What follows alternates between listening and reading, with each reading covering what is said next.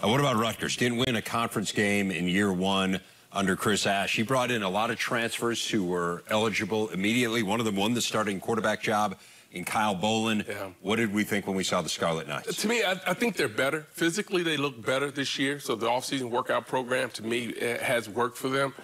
But do they have enough to make enough plays to really affect change on both sides of the football? I don't think that I don't think they're there yet.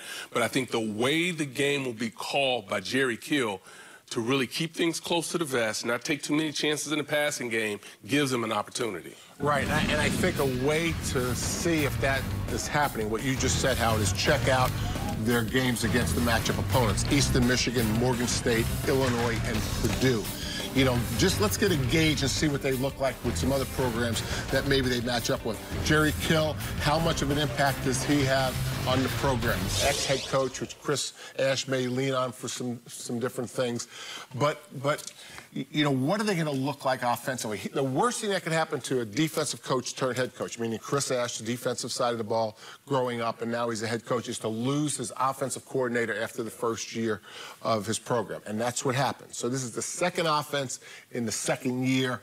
That's not always a good thing. So they've got to get through that. And I think Jerry Kill will be a big help doing that.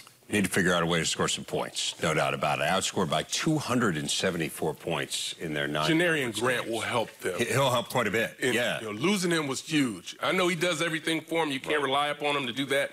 But he was a big play waiting to happen in all phases of the game. Getting him back healthy this year would be big. Well, he's tied for the all-time FBS lead in combined punt and kick return touchdowns. He tied for the team lead in touchdowns last year. He played four games.